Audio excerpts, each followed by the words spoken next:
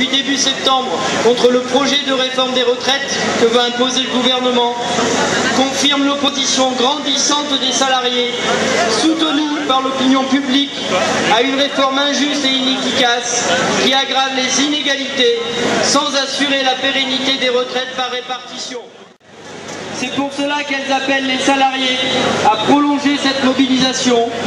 à tenir dans l'unité syndicale des assemblées générales sur tous les lieux de travail, à discuter partout,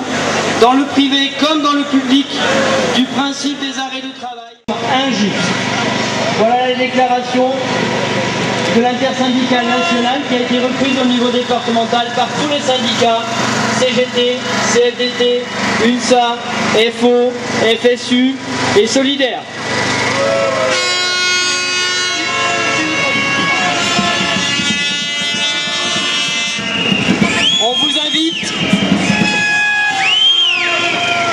Vous invite à suivre le cortège des élus